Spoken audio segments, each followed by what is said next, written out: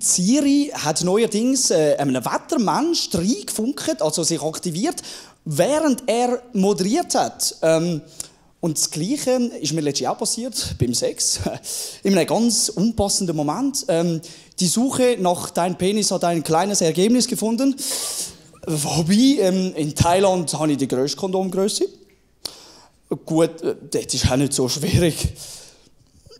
Ja, und dann äh, hat Siri gerade nochmal reingefunkt. Ähm, Spielelied, she works hard for her money. Obwohl, ist es überhaupt ein, Ski gewesen.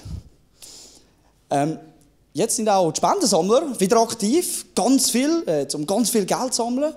Und das habe ich auch mal gemacht, äh, letzten Sommer zum Beispiel. Und jeder sucht sich ja dort so ein bisschen seine Zielgruppe, jeder Spendensammler. Ich habe zum Beispiel immer ähm, den Musterschwiegersohn ich habe zum Beispiel den Musterschwiegersohn gespielt bei den 40- bis 50-jährigen Damen. Und das hat eigentlich bei allen sehr gut funktioniert, außer bei meiner eigenen Schwiegermutter. Nein, Spaß, ich habe keine Schwiegermutter.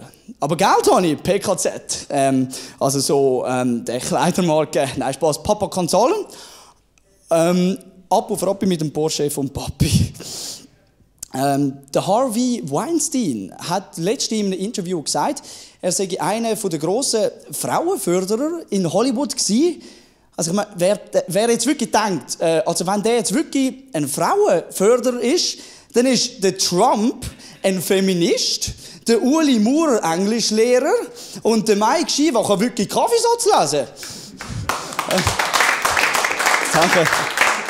Und Jetzt hat tatsächlich eine Statistik gesagt, dieses Jahr hat der Trump, sage und schreibe 15.413 fragwürdige Aussagen gemacht. Ähm, aber ich meine, das ist jetzt nicht so schlimm. Ich meine, das habe ich in meinem letzten Franz-Vortrag auch geschafft.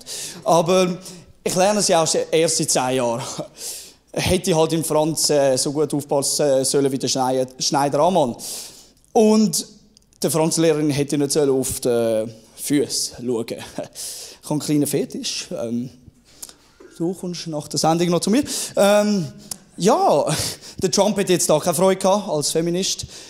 Ähm, die Aussage über den Trump dann haben wir gerade ein bisschen gickerig gemacht auf noch mehr. Und dann bin ich so schauen auf eine Website, die so Zahlen über das Leben darstellt. Ähm, so Zahlen, was man das Ganze äh, erlebt ähm, in seinem Leben.